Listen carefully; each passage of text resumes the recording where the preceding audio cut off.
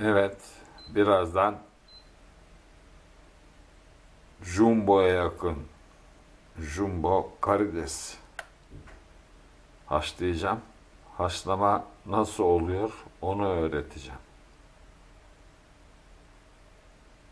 Sadece o kadar. Şimdilik hoşça kalın. Karidesler jumbo değil aslında. Böyle bir şey işte.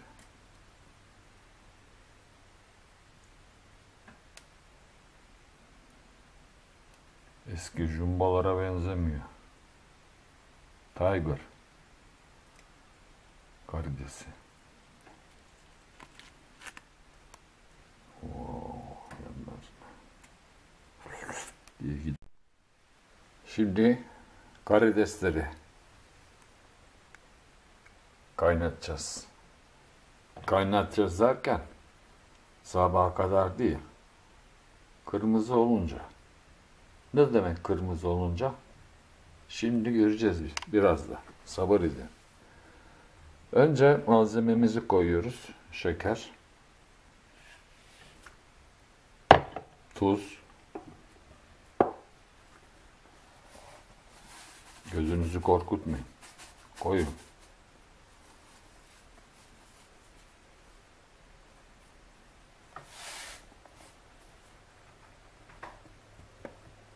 Bir de elma sirkesi.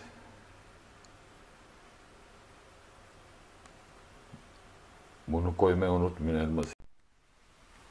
Evet şimdi su yumuz kaynamaya başladı. İçine biraz kekik attım. Fark etmez çünkü bunlar kabuklu. Böyle içine bunları koyuyoruz teker teker. Sirke koymazsanız e, karides jumbo karides yediğinizi anlayamazsınız. Onu söyleyeyim. Elma sirkesi. Güzeldir. Başka sirkeler de denenebilir. Ben elmaya alışmışım. Burada üzüm yetişmiyor. Bunu da attık. Bitti. Kapağı da kapatıyorum. Antenler dışarıda. Şu hayvancık nasıl yaşıyor ya?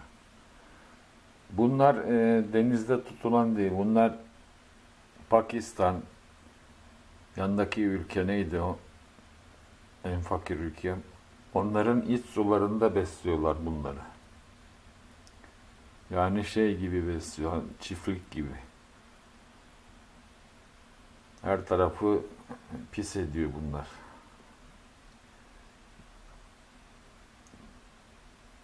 Onun için fakir ülkelerde yaptırıyorlar. Bir ara İskenderun körfezinde falan yapmaya düşünmüşlerdi. Uh uh uh. İyi ki. Ben fazla kaynatılmış şey sevmem. Çünkü sert oluyor. Onun kıvamını bilmek lazım. Şimdi aradan 15-20 dakika geçti. Bu renkte oldular. Bunlar tamamdır. Bunlara fazla şey yapma lüzum yok. Ondan sonra bıçak bile zor kesiyor. Bunu ben şimdi kapatıyorum. Kapadım ve kenara çekiyor. Şey, orada kalsın. Şöyle. Şöyle kenara alıyorum. Bu soğunca yeniliyor esasında. Ilıkta yenilir. Ha sos yapmak istersiniz. E, mayonez alırsınız, satın alırsınız hazır. Ama e, şey alın, diyet mayonezi alın. İçine biraz hardal koyun. Onun içine de domates püresi koyun. Karıştırın. Pink rengine gelecek. O bu karidesin sosu olacaktır. Bu kadar basit bir şey. E, misafirlere ikram edilebilecek e, pahalı bir yemek çeşidi.